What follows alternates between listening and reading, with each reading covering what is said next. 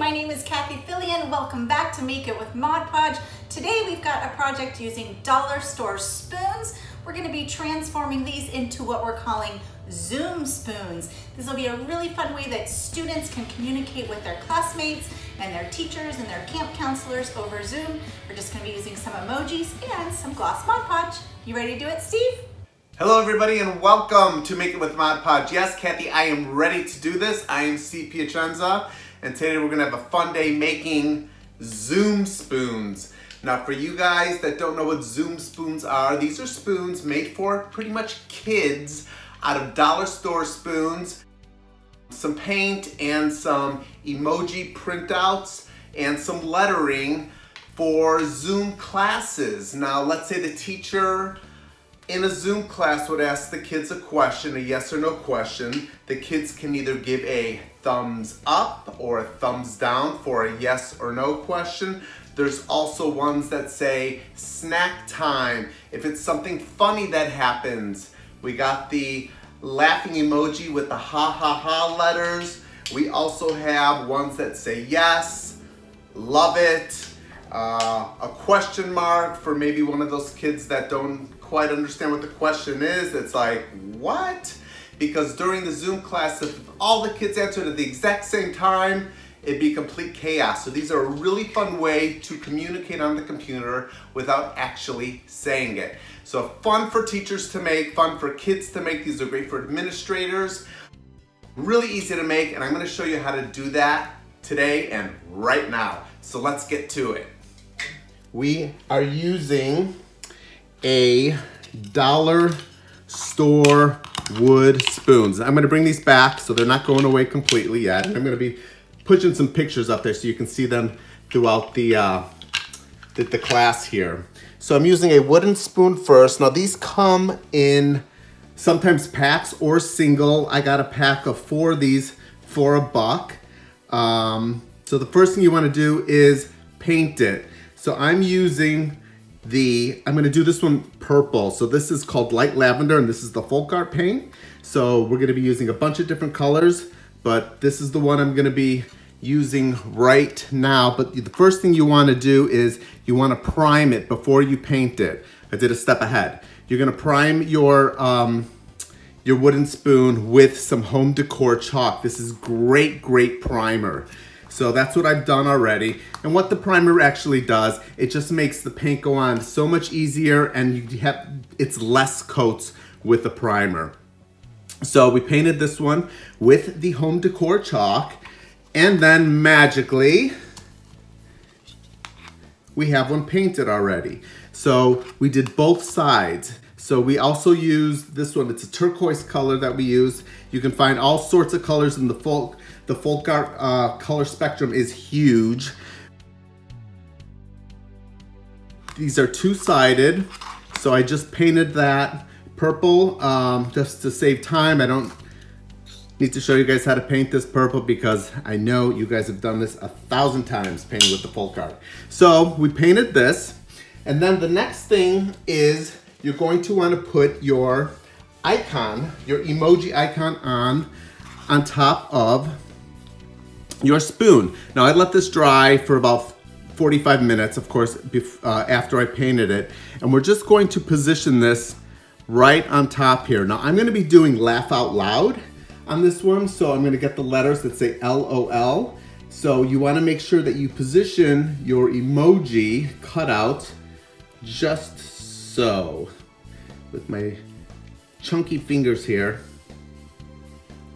somewhere right in there. So of course I'm gonna be using the Mod Podge gloss. Again, guys, you can use the matte finish, the satin finish. It all works great. So here's some of you, the emojis that we have used on this, the waving hands, the, um, the uh, emoji hearts, the apple, the thumbs up, thumbs down, and the laughing. Let's take our gloss and all I'm gonna do is just gonna put a little right there on the back of it. Really simple. This is really a simple, fun project for teachers, for kids, principals, administrators, anybody that's doing the Zoom classes. And I'm gonna position this pretty, right, a little bit higher than lower because again, I'm just going to be putting my LOL underneath that and I want it to fit. Now, I've got these stick-on letters, which are great. Let's open these guys up. And these come with the letters and numbers. So you can get a lot out of these. You can do qu quite a few spoons with all these letters. So I love using these because they're very simple. Um, you don't have to paint the letters or stencil the letters on. You can just go directly with the stickers and drop those right on in. So let's get our first one off. I like working sometimes with the middle letter first so you can space it right on out there. So I'm gonna put the O down. LOL, look at that. That's fun. So this is one where if you're in the classroom, they say something funny, you hold your spoon up, and it is a laugh out loud situation.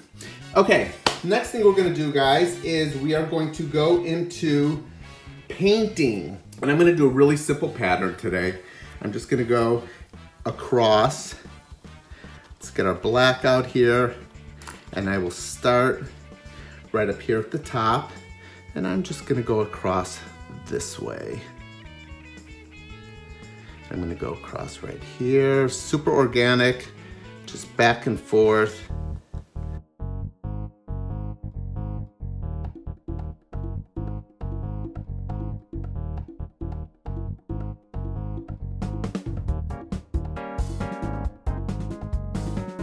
And then I want to use the Q-tip. So with the Q-tip, you wanna get some on your Q-tip and then kind of wring it out a little bit because they expand a little bit and they hold a lot of paint, believe it or not. So you just wanna make sure and do your first one going down. They make a nice little organic circle there.